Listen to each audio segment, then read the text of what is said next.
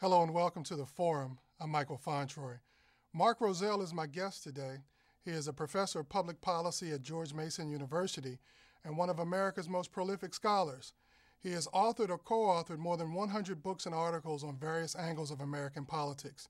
He's here today to share his observations on where we are and where we're going. And I'm happy to have my friend Mark Rozell at the table. Mark, welcome to the forum. Thank you, Mike. So I'm really fascinated with how people participate in the process and why people vote and and so I want to get a sense from you mm-hmm. why you think or what you think to be the most important factors that help to explain why people participate and why people don't. Right. Well, primarily the economy has been the traditional answer for explaining people's motivations in voting in elections. Uh, it's a pretty remarkable thing historically if you look at in the modern era uh, trends in popular opinion, perceptions of the state of the economy, and voting patterns, uh, there's a pretty consistent tracking, uh, particularly with regard to the party that's in the White House at a particular point in time. If the economy is going really well, uh, the president's party tends to get the credit for that. And if people perceive that the economy is doing poorly, the president's party tends to suffer at the polls. And this has a top down effect throughout our political system. Now, there are some exceptions to that rule. For example, uh, we've had some security oriented election cycles, such as 2004, in which uh, the country being at war, people were looking a little bit more than usual toward foreign policy and national security issues. But on the whole, if I generalize, it's the economy more than anything else that drives people's political behavior. But shouldn't that then mean that people who are having a difficult time or people who are unemployed, for example, would have more at stake in upcoming elections and would therefore be sort of hyper motivated to, hmm. to participate and therefore un, in difficult economic times turnout and participation would be higher. But i'm not sure that's what we're seeing. Yeah. Well, that, well that's exactly right. And that's one of the dilemmas i think of the american democracy which is that the people who really need the help of government most tend to be the perennial non voting populations. And so there is really um, a middle or upper class bias built into the electoral system in the United States because politicians running for public office think first and foremost about the electoral imperative, what they have to do to please those constituencies who are most likely to show up at the polls. And those tend to be people who are in the upper or middle income brackets who turn out in the highest numbers in elections and people who have the most claim to make on government for help tend to turn out in the lowest numbers. So, uh, so that that's a particular dilemma I think in American democracy that uh, you you have populations who turn out in very very low numbers who have, I believe, and your question suggests the highest mm stake in the outcome of government policies. You know, I'm, I'm, reminded of the outcome of the 2008 election in which. Mm-hmm you know, there are a number of analysts and others who were sort of jumping up and down in glee that 52% of the uh, uh, uh, 52% of voters showed up for that election. Right. And in the global context, where there are Western democracies or, or similarly styled democracies, you know, 52% is not much to jump up and down about. And That's so, right. so, so we have the economic piece of that, and we know that this this helps to drive some of that. But there's some other factors as well. What what do you see uh, for example, with regard to religion and, and how that impacts mm-hmm. why and how people participate. Sure. Yeah, there are many different variables, of course, that affect people's voting patterns in the United States, and with the economy and perceptions of the economy being the most important, but also people's identities, um, particular issues that they feel very strongly about. We have an interest group based system in the United States where people. Naturally form into groups of like minded people who share their views on particular issues, and most Americans tend to project very strong views on particular interest, uh, particular interest to them. Um, and then, somewhat less, of course, are the foreign policy and national security related issues, although, again, during period of war, and now with the United States involved in effectively three wars, there's a, there's a lot more emphasis on what's going on around the world mm. right now than typically is the case. Now, you've written a lot over the years on the intersection of religion yes. and politics, and you know, when did that connection become as strong as it is now? Yeah. And how is that sort of manifested itself over the years. Yeah, yeah. Your your previous question had asked, and I yeah. neglected to to mention uh, the religion factor. As an academic person who studied this for many years, it's been a matter of frustration uh, to get people to recognize the importance of religion as a political variable in the United States. And I've, I've done some lecturing both in the United States and outside the country as well on the intersection of religion and politics. And I like to tell the story that when I'm in the United States, I'm spending all my time trying to convince people that religion actually is important as a political variable to explain people's political behavior, their motivations, uh, but when I go to, for example, European countries, I spend all my time trying to convince them that religion is not the only variable that matters in American elections. Mm-hmm. Uh, they tend to have a view of us as being hyper religious. And, uh, for example, during the Bush years, uh, there was a pervasive belief that the religious right movement was driving American politics, not only domestically, but in foreign policy. Uh, I think to bring some balance to this whole discussion, it's important to recognize that religion is an important part of the identity of Americans.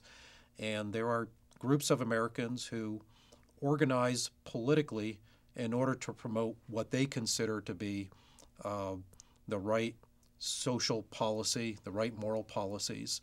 And not all democratic systems have, I think, this sort of firm grounding in religion as a basis for political participation. And in fact, in uh, some other countries, people find that quite odd that people in this country actually mobilize on the basis of uh, religious identity and religious participation as a foundation for expressing themselves politically. Uh, but you've seen in the modern era, of course, there's been so much emphasis on, for example, the evangelical conservatives in the Republican Party. Well, they've had a huge impact on American politics. Um, and you asked the question since when have we really started to see this phenomenon take place? Um, the religious right movement really wasn't recognized as a force in American politics until about the early 1980s uh, with the mobilization of the moral majority and Ronald Reagan's election. Uh, but before then, people didn't even look to this as an important force in American politics. And in fact, uh, people who now comprise the movement we refer to as the religious right were mostly apolitical. They were not active um, in electoral politics. Now, historically, prior to that change, the Republican Party had sort of been dominated by the so-called Eastern establishment, yeah. sort of socially liberal um, or at least socially moderate uh, uh, Republicans. And then you have this marriage that takes place between the Eastern establishment and the sort of Christian conservative movement. Uh, one of the things I find interesting in that is Ronald Reagan sort of um, I, I, hesitate to use the word manipulated because I don't mm-hmm. think that's the appropriate word. Right. But I do think that he understood the, the, the potential for that movement. Mm-hmm. And even though he was not a particularly religious man, that's right. Uh, in fact, I think there's been some revisionism with regard to him and that uh, aspect. Uh, I do think it, inter- it, it interesting that he was able to, to capture some of the symbolisms. That's right. Uh, so, some of the symbols of religion in American politics. You have yes. any thoughts on that? Well, I, I do because that, um, that that's absolutely right. Um, Jimmy Carter ran as a, um, a person who wore his religion openly on his sleeves. Uh, you know, he, he said he was a born again Christian. He was very open about that.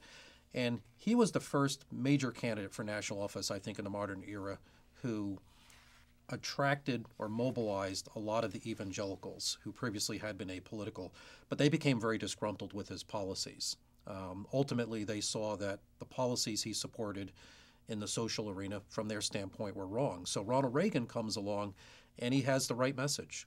He has the right issue positions from their standpoint. And the fact that he was not a deeply religious man, he did not attend religious services regularly, uh, didn't really seem to matter so much as he was right on the issues mm-hmm. and he articulated those issues um, without embarrassment. So when he went before uh, the National Association of Evangelicals, he said, I know you cannot endorse me, but I endorse you. And that was an affirmation of their legitimacy. They had been used to, they believed, standing outside the mainstream of American uh, society and politics and being looked upon as people who were outsiders. And then suddenly this man comes along and stands up and says, I embrace you. And that was a that was a really important moment.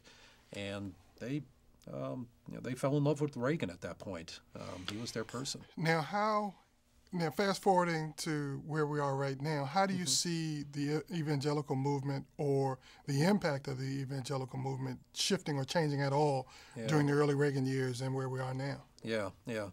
It's interesting because um, the, the evangelical conservatives ultimately were very dissatisfied with Reagan's administration because uh, they saw that his emphasis was fighting communism abroad or trying to uh, um, change economic policy in the United States. And they didn't see a lot of push on the social issues agenda. And they probably had a legitimate complaint that uh, Reagan was rhetorically expressing their views, but he wasn't really doing much substantively. And so, uh, you know, the, the, the, first George Bush administration, of course, um, you know, they didn't have a lot of support there. And then, uh, you know, the Clinton years were a disaster for them. And then uh, uh George W. Bush, of course, was probably the most favorable um, uh, president they could imagine having. And even then, uh, there was a lot of dissatisfaction that uh, the second Bush administration wasn't really pushing hard enough on the core social issues for which the religious conservatives became mobilized into politics. So um, I think they're at a crossroads right now. To answer your question, it's a, there's been a lot of talk within the movement about whether uh, this 30 plus years period of active political engagement actually has brought about many substantive results for evangelical conservatives, or whether they just might be better off retreating back into their communities and their churches and um, and and putting more of their effort into uh, local oriented and uh, their, their church organizations as opposed to trying to change the landscape of American national politics. Well, well which way is this going to play out then? Because yeah. if they retreat, that's a substantial blow potentially to the Republican Party. So that's right. Could that actually end up happening? Well, um, I don't think it's going to happen. I, I, I, don't think so. I mean, you've seen the rise of other movements now, such as the Tea Party. And there's a big debate going on right now whether the Tea Party is just another face of the Christian right movement, mm-hmm. which I don't think entirely is the case. But organizations such as the Christian Coalition uh, are not terribly powerful anymore. Christian Coalition was one of the most influential interest group organizations in the United States uh, throughout the 1990s and it doesn't really have much power and much of a following anymore. But you see this Tea Party movement arising, and there have been uh, surveys that have been done of Tea Party activists showing that it is comprised very, very heavily of people who formerly were affiliated with religious conservative organizations. Mm-hmm. So you have this new movement now that um, does not present itself as specifically um, a moral issues or social agenda oriented movement, but rather uh, the Tea Party movement tends to talk a lot more about um, government spending and economic issues, but it's comprised of issue activists who have been active in the religious right movement in the past. Mm.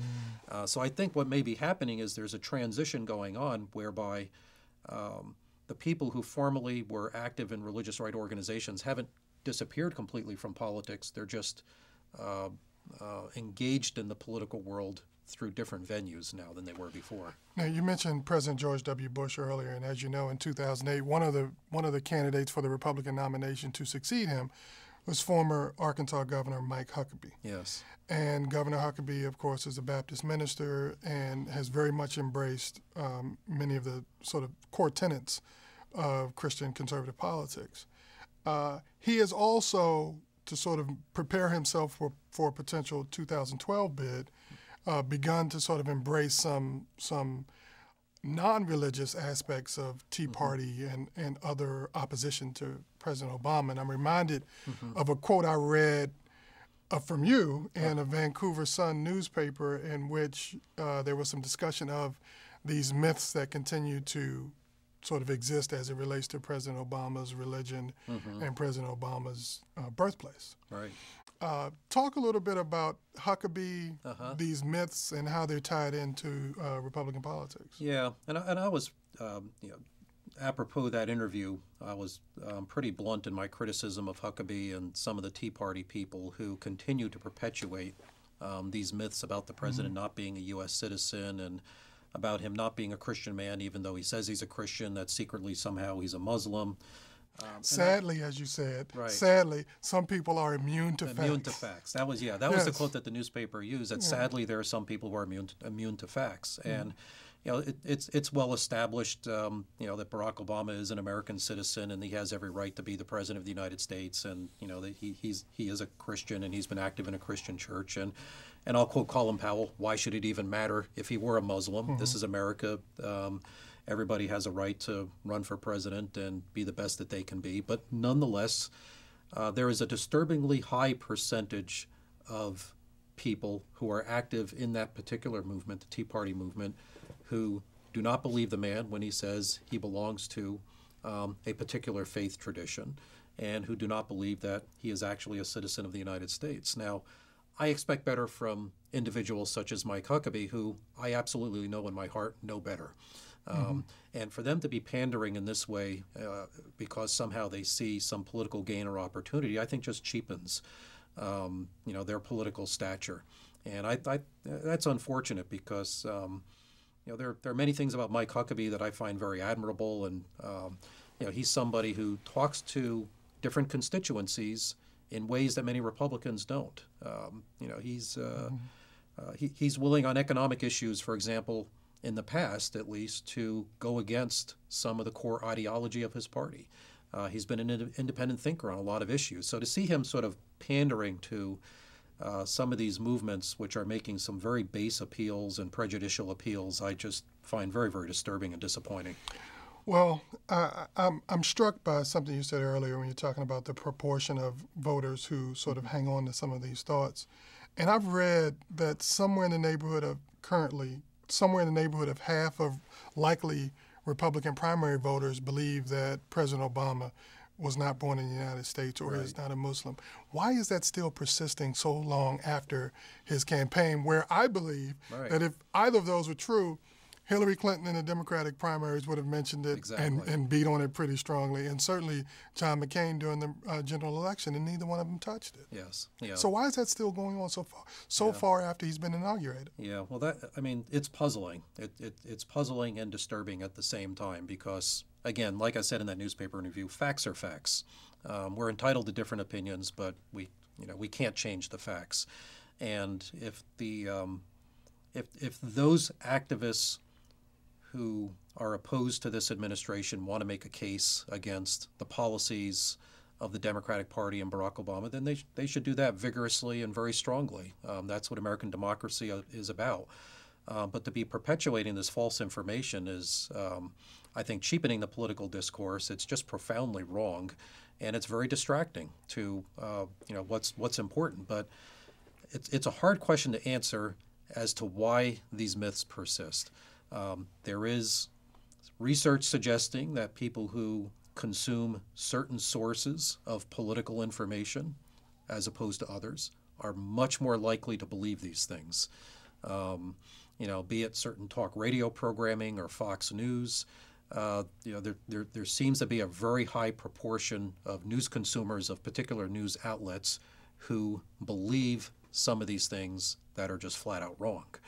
Um, so I can be very critical, for example, of uh, various prominent persons and organizations in the news industry who are not responsibly dispensing information for democratic citizens mm-hmm. to act upon in a responsible way. Uh, and then, of course, you know, the, the whole thing about people immune to facts. I think there are some people who are just so deeply distrustful and dislike so much uh, this president for a variety of reasons. They're just inclined to believe the worst, no matter what it is, and they have their blinders on, as we say. They're not. They're not. They're not even uh, absorbing counter information that would go against what they believe to be the facts. Well, you mentioned that leads us to media, and you've written mm-hmm. quite a bit on, on media and politics over the years. How do you see the connection, and, and, and what has the proliferation of media done for yeah. uh, the, our, our public discourse? Well, uh, it, has been both good and bad. Um, on the one hand, it's it's a wild west of media out there. There's there's so many different media outlets, so many different sources of information, and consumers have more choices than they ever had before. And so it's not that there are a, a, very few number of major gatekeepers, as there used to be years ago, um, who decided uh, who has credibility to you know be on the media and what sort of fits the, the main narrative or framework that deserves to be presented as news. Uh, if people are not satisfied with the so-called mainstream media, the, the old line media, they can they can go to alternative sources, and there are limitless choices uh, for consumers. So on the one hand, that's a good thing that there's more choice out there. But on the other hand, um, because there's so much competition among so many sources, and we're in this hyper fast-paced media environment uh, where there's so much competition to get the information out there first, there isn't enough proper vetting of information going on by many media sources. And rumors are reported out there very casually. Um, uh, lots, lo- lots of these myths get started in that way, actually. Um, and legitimized. And legit- they get legitimized because they're put on major media uh, outlets. Um, and and many people see you know whether it's O'Reilly Factor or talk radio programs that this is news this is this is news information that they're being mm-hmm. given and you know many news consumers are not making sort of discerning judgments about the qualitative differences or the differences between uh, political commentary oriented programming and straight news uh, oriented programming. All and all that's been kind of mixed up in the modern era too. Uh, it used to be a lot more simple to sort of ferret out um, what is what is the news commentary and analysis where it's all about the host and you know projecting a particular viewpoint and uh, oftentimes it's very ideological or you know what's what's the straight news here? These these things have gotten mixed up a lot. Now President Obama has a particular relationship with the media, mm-hmm. uh, primarily the Washington D.C. based media. How do you see that, and how do you compare that to some of his predecessors? Yeah, all presidents complain about their media coverage. That's uh, I've written several books on presidents and the media uh, going back to the Carter era, mm-hmm. and whether it's Democrats or Republicans, they they all complain um, that they they got a very shoddy treatment from the media, um, and that if only the media had covered more accurately or covered what was important, you know, they presidents would have had a much easier time of uh, of leading this country. So, I, I, don't think in that regard uh, Barack Obama is any different than uh, his predecessors. He he does have to contend with, I think, an increasingly, um, you know, vocal opposition media that's out there. Um, that's uh, that that has more and more influence, I think, on political discourse in the United States.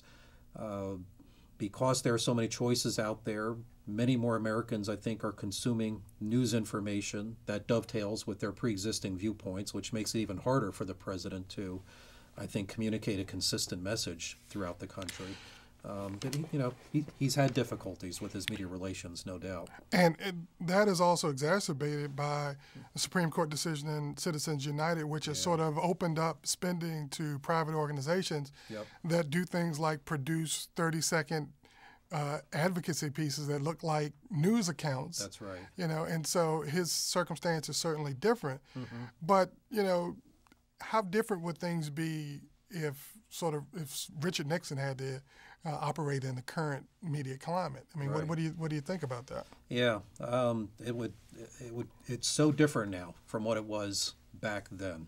Now, you know, Mr. Nixon too. He he complained very bitterly about the mm-hmm. Eastern establishment oriented press and how the strong liberal bias in the mainstream media uh, always worked against him and Republican presidents. So that was uh, a very strong core belief among Republicans for many years, which is why perhaps we have these other successful media venues now, such as Fox News, which mm-hmm. is a place for people who don't trust the so called mainstream media uh, to go and get their information. But you know, I, I tend to believe that much of um, Washington media is is stuck on a definition of presidential leadership and success uh, that goes back to Franklin Roosevelt and sort of idealized notions of what it means to achieve presidential greatness. Um, everybody, every president is put under uh, this scrutiny as to how well he has been able to um, grab the leadership agenda control the agenda and bulldoze it through Congress and do it as quickly as possible. And the American constitutional system wasn't set up to work that way, but yet it seems that all presidents are put under the same scrutiny to uh, lead with big dramatic gestures, uh, to have big innovative programs, to you know bulldoze their agendas through Congress very very quickly, And if there's gridlock in Congress, if the economy's not doing well, uh, if the wars abroad are not doing well, somehow it's the president's fault. Um, and yet, we don't have a presidentialist system of government. The president is not the center of everything that happens uh, in the American political system. So, put, put on your, uh, look into your crystal ball for a second and tell me how you think media, particularly new media, mm-hmm. will impact the country as we go toward the 2012 presidential election and perhaps beyond. Yeah, yeah. Well, um, it, it's harder and harder for candidates, I think, to identify who are the key media out there that they have to reach in order to get a message because there are just so many different sources out there. But what, what I've seen has happened in the modern era increasingly is that, for example, presidential campaigns have gotten much longer. Um, there are so many. Sadly, so by the way. oh, I, yeah, I, I, agree with yeah. you. I agree with you that uh, these these campaigns are excruciatingly long and expensive, uh, and they start entirely too early. But what what that means is that the media become hugely more important because uh, it's the media people following the campaigns who are establishing the criteria for who is credible, who is not, and we have this winnowing process uh, that takes place before there is even a single primary or caucus. You have candidates dropping out because they have effectively lost what I like to call the media primary. You know, the several months period before Iowa and New Hampshire, where the candidates are competing among themselves for media attention in order to be labeled viable or competitive.